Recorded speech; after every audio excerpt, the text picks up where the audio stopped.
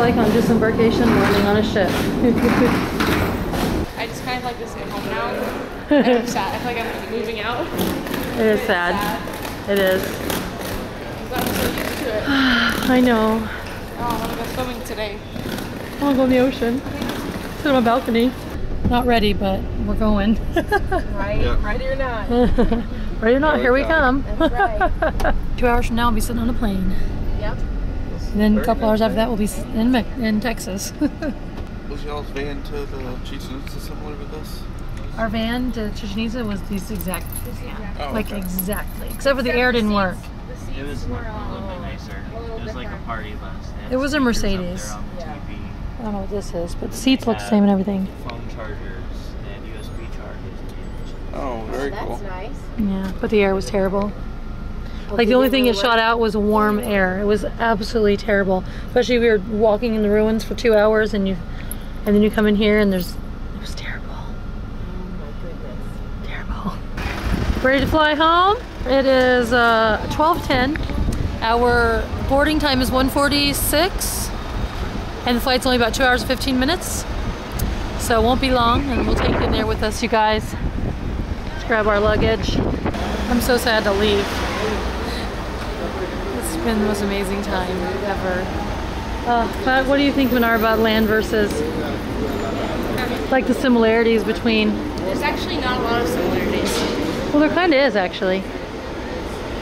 It's like being on a cruise, but on land. No, it's not. Because being on a cruise is being on a cruise. Okay, we're gonna have to make a video of this land versus sea vacations, My right? opinion it's completely, absolutely different. It feels different, In like every way. You don't get anything that you get on a cruise that you- at all. Except you're in the same place you might go on a cruise. That's literally it. yeah. It's completely different. We'll make a video about that. I put all my liquids away. Panic, panic, panic. oh, your papers? We need to get them out right now. Yeah. Okay. You need your uh, boarding passes and your passport. Okay. What if you get held up in security because of your souvenir? Okay.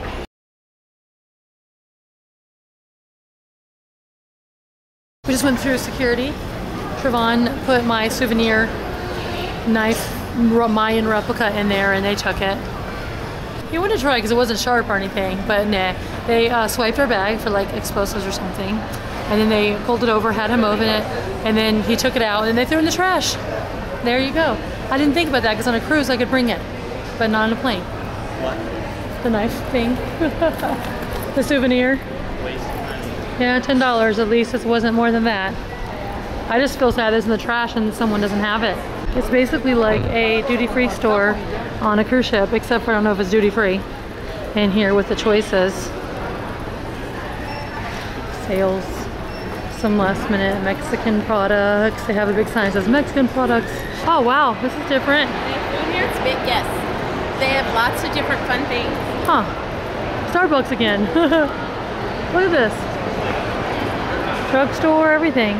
We just checked in. Is this our plane? I think it's our plane. I can't see the writing, but I think it is. Boarding the plane. David and Robert got a little separated somehow. I don't know why. We had to show our passport lunches times, and I don't know what time it is yet. I'll show you guys in the airplane. Long walk.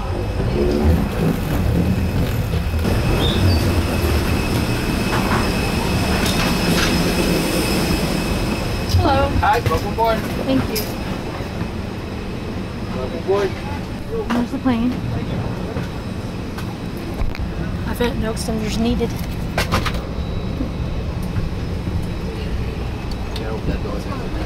Once again, uh, if you guys didn't see our first vlogs, these are the big seats on Spirit Airlines.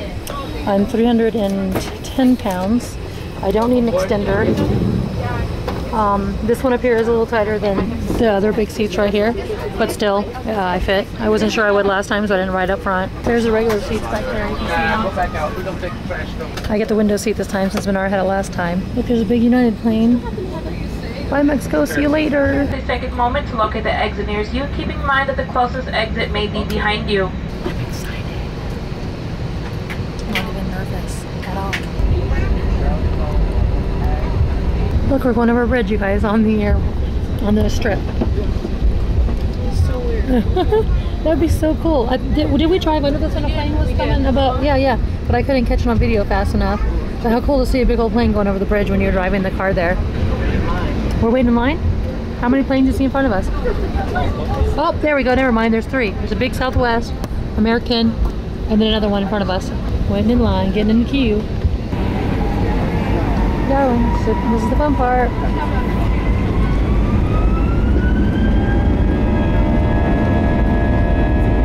that normal noise?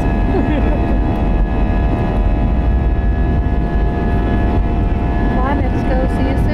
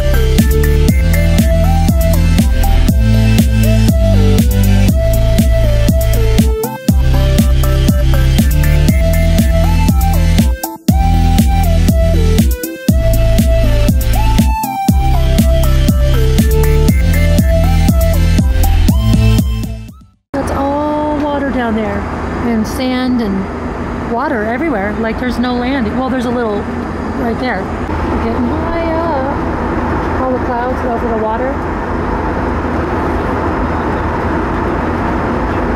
And this water down there.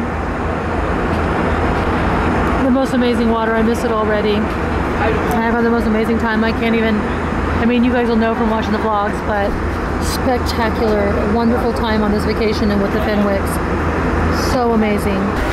Now they're coming around with a tray of food and snacks. I'm not getting anything because I don't want to have to go to the bathroom on this flight. Look at the ocean out there. Mm, beautiful. I know it's noisy in here, but remember, guys, I was petrified of flying. And I actually really like it because I face my fears. You guys really should too if you're afraid of it. Oh my gosh, see a boat. Well, I mean, I can't see the boat, but there's a boat down there. It's 3.14. We um, boarded at 146. I don't know, it's been at least an hour. But last time we couldn't see the clouds. This time you can see the ocean. Like, just, that's all ocean because we're just going over the Gulf of Mexico directly from Cancun to Houston, Texas. And it's just absolutely beautiful. I wish that I would see a cruise ship down there. that would be really cool. We're descending for arrival in Houston. There's Texas. Water's definitely different than it was a couple hours ago in Mexico.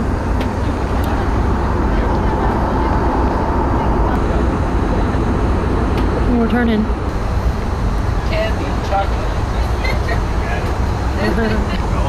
Oh wow, look at that. Texas. In preparation for landing, please return your seat backs and tray tables to their upright and locked position. Aisle armrests must be fully lowered. Exit row window shades must be open. And check that your seatbelt is securely fastened. All carrying So items must be in pretty. either an overhead bin or completely so underneath the weird, in front of you, marbled including stained glass. devices. It's 416. There's a big brown lake. Look at that windy bayou. Wow.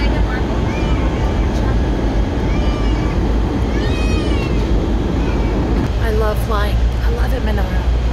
And when it draw, like goes into air pocket or when it changes directions and turns, I, I love it. and I was so afraid, and now I love it so much. I used to love it until I got anxiety and then just thought that it would be scary. And so I'm super happy because literally the world is opened Wow. up to me. The flight attendants on this Spirit Airlines both times have been really nice, haven't they?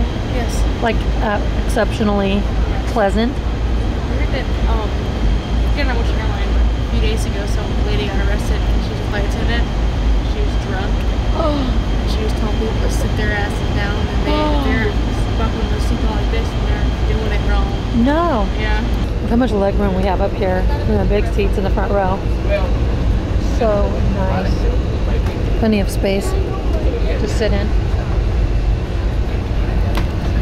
Had a good time. I'm gonna miss the Mexican gas stations and places so much.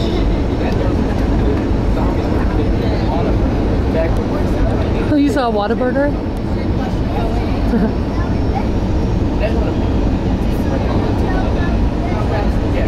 I think those buildings are there, Houston, right there, actually.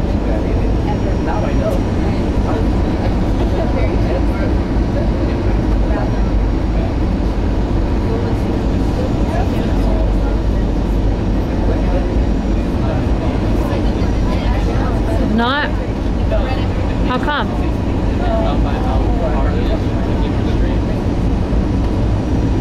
Was so smooth going into Mexico.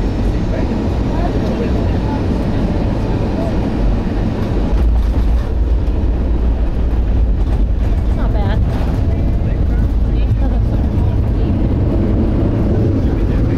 huh? Ooh. So fast.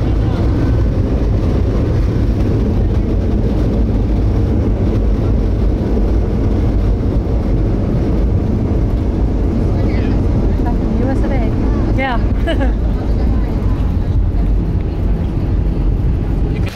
There's the seats again. These are big seats, these are big seats.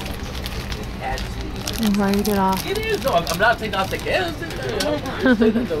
Thank you. Checking out though. Thank you. You too.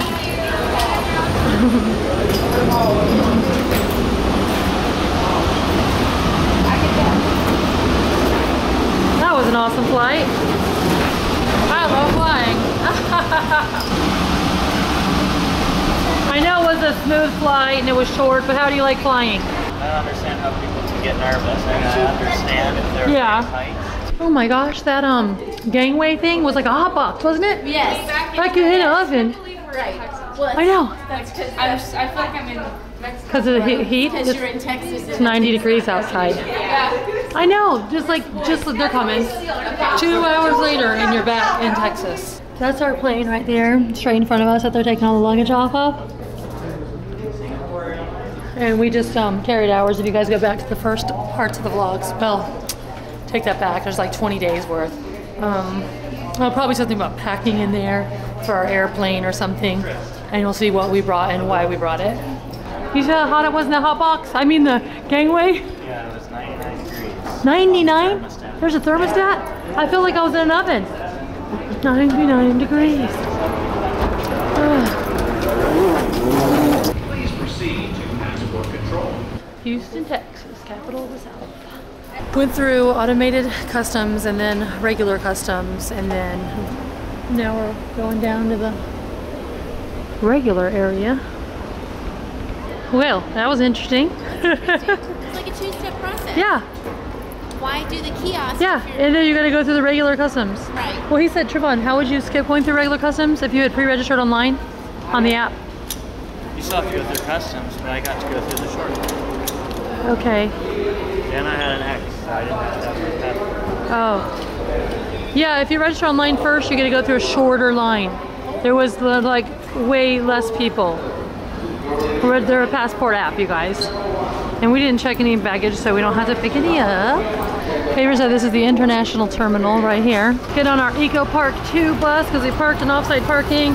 Once again, you guys can find the other vlog where we uh, did that. Not bad, $42 for a week of parking here at um, Eco Park 2 at the Bush Airport. That's they want almost that much for a day inside the airport. In Orlando. Yeah, that's crazy. So forty-two dollars for a whole week. Oh my god. At the cruise port, we pay um, like one hundred sixty something dollars for a week of parking. Really? Yeah, in Miami. So we're driving back to Houston, and we're going to eat at Rosas. Rosas is where we ate. Um, did I bring my camera that time? Don't remember, but it was delicious stuffed crust pizza. I think I did. Yeah. I don't think I brought my camera to Brothers, or it vice versa? Anyway, it doesn't matter.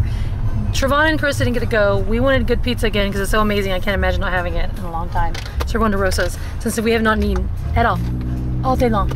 The stuff in the airport was so expensive in Mexico. It was seven dollars and some change for a bag of chips, a regular size bag.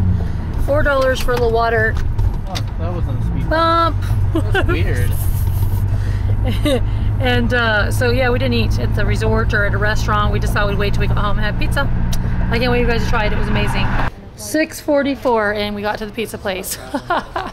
we are starving. Rosas Pizza. Now we have to just wait for him to cook it. That's the hard part. And then cool down so you can eat it. Everybody doesn't feel good because we're all starving. Look. Yes, I don't think any pizza is going to waste tonight. This one has meat in it. This is just mushrooms, onions, and peppers. This one is Pepperoni and sausage. Oh, it looks so good. Mm, cheese. Enjoy it, you guys. Enjoy it. Oh, look, Trevon. I see. Let me see inside. Yo. Does anyone need fork? Have a, Oh, yes, please. I would like to try that meat. Thank you, pizza.